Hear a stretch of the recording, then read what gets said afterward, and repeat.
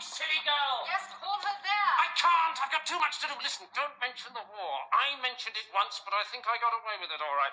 So, it's all forgotten now, and let's hear no more about it. So that's two egg mayonnaise, a prawn Goebbels, a Hermann Goring, and four Colditz salads.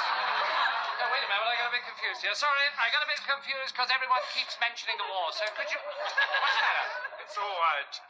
Is there something wrong? Will you stop talking about the war? Me? You started it? We did not start it.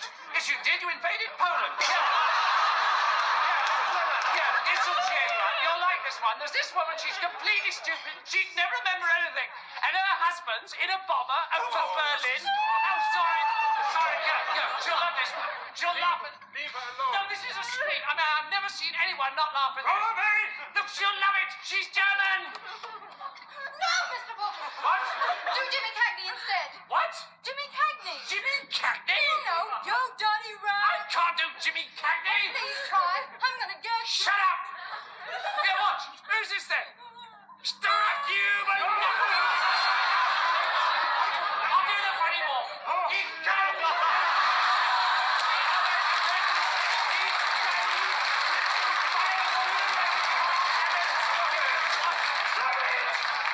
I'm trying to cheer her up, you stupid kraut!